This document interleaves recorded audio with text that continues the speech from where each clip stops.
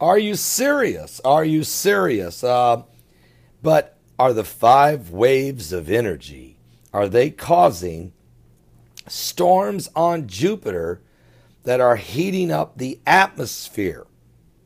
And by the way, if the, what's causing the five waves of energy? Are they is it from planet X or planet 7X or from Nibiru or or the planet number 9, whatever NASA wants to rename it every day, it's the same thing. Well, my son at his website, the Crusader Journal has an an article put together. Scientists and research astronomers are suggesting a massive continuous storm that often resembles a hurricane on Jupiter. It may be heating up parts of the largest planet in our solar system's atmosphere. This massive storm is more famously known as the Great Red Spot and has been ongoing for more than a century. It's twice the size of planet Earth.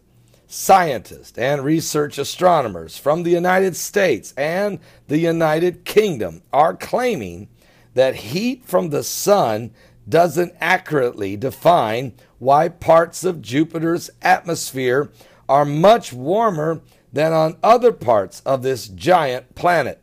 The journal Nature published a scientific research paper online that suggests the upper atmosphere of Jupiter is continuously being bombarded with from beneath it by an either a sound or gravitational waves?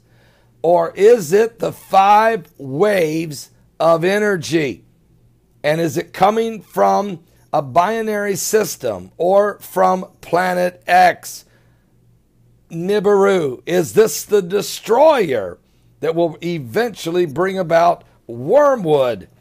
Or is it is these waves also bringing increased amounts of, of asteroids?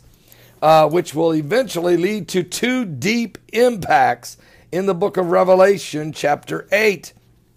And get this, we're on our second wave of energy. Last year, the first wave hit us on August the 17th. It was just a ripple effect. The second wave is approaching, uh, is still targeted for December 26th of this year, wave number two. Much larger, much, much larger and powerful.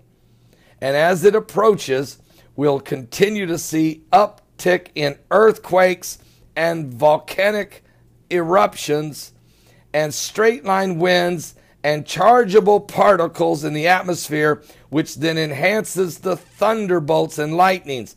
Also, we're having what's called rain bombs. We talked about this last week how it's affected Houston, Texas, how it affected uh, West Virginia. Well, Sunday, I just did a video on it last week, and what happened Sunday afternoon?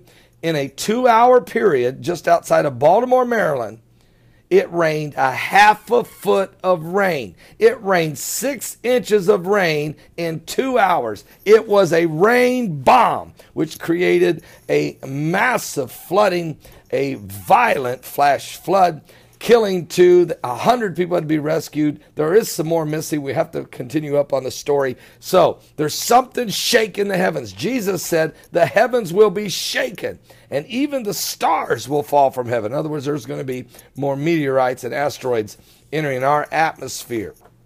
And is so is this one of the clues? Is this one of the clues? Has Bart Begley uh, pulled together some information here that may be showing us some of the clues that we're hearing from all of these uh, uh, different uh, scientists and astronomers. Matter of fact, the uh, scientific research study published by the journal Nature uh, was based on evidence gained using observations made by NASA's Infrared Telescope Facility, which is located in Hawaii. If you want the full report, I'll put the link below. You can go to his website, check it out. But I'm telling you, and I'd be interested to get Mike from around the world's take on this information uh, and uh, and uh, others out there uh, to find out just what is taking place. Was Gil Broussard correct about Planet X and what it will do, shaking the heavens?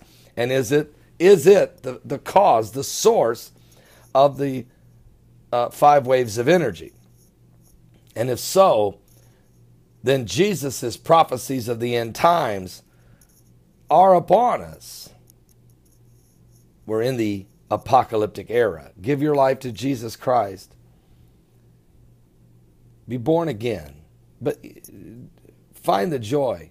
Okay, listen to this. Jesus said, The thief cometh not, but for to kill, steal, and destroy. But I've come to give you peace.